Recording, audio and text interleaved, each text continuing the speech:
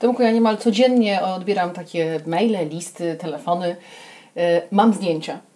Co mam zrobić, żeby opublikować je w National Geographic? Prawdopodobnie każdy sobie dzisiaj uzurpuje prawo do tego, żeby nazywać siebie fotografem.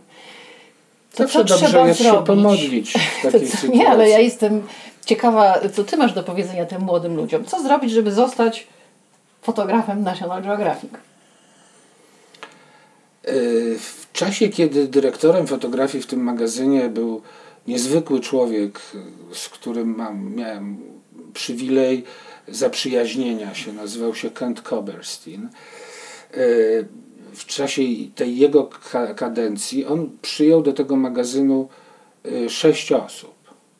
Nie dlatego, że wśród nich wynalazł tych sześciu nadzwyczajnych, tylko dlatego, że uznał, że to są ci, którzy spełniają kryteria tego magazynu.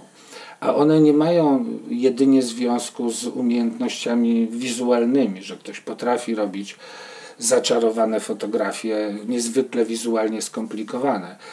Ten magazyn potrzebuje ludzi, którzy reprezentują niezwykle bym powiedział, y, szczególną taką wizualną indywidualność. Robią zdjęcia wyróżniające się wieloma rzeczami spośród miliona innych, ale również którzy potrafią podporządkować tę swoją indywidualność tej idei nadrzędnej, jaką jest skomunikowanie się z czytelnikiem.